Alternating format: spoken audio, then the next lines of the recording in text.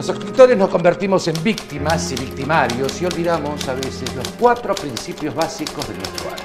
¿Qué hace usted acá?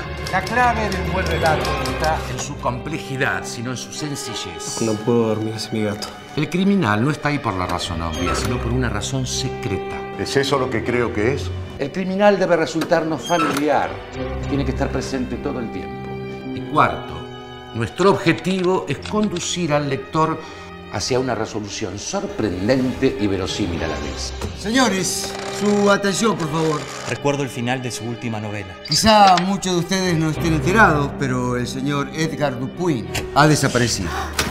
Cuando ustedes llegaron y encontraron el cuerpo, el depósito estaba cerrado por dentro, ¿no? Así es. Existe una solución para el enigma del cuarto cerrado. ¿Cómo hizo el asesino para salir? No voy a responder a eso. Mi libro lo hará por mí. La policía no va a tardar en matar cabos. Por esto usted demuestra que tiene gallas. ¿Sabe algo de Dupuy? Veremos si además tiene talento. Solo que anoche tuvo una seria discusión cree que es?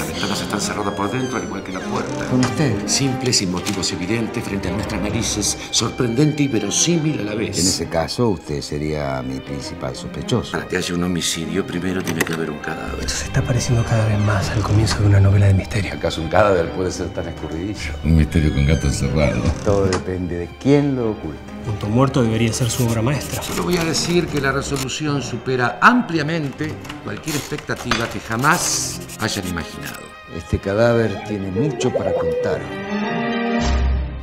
¿Quién necesita los ojos? Al menos usted sabe que yo no lo hice. Cuando los sentidos pueden nublar la razón. No estaría tan seguro de eso.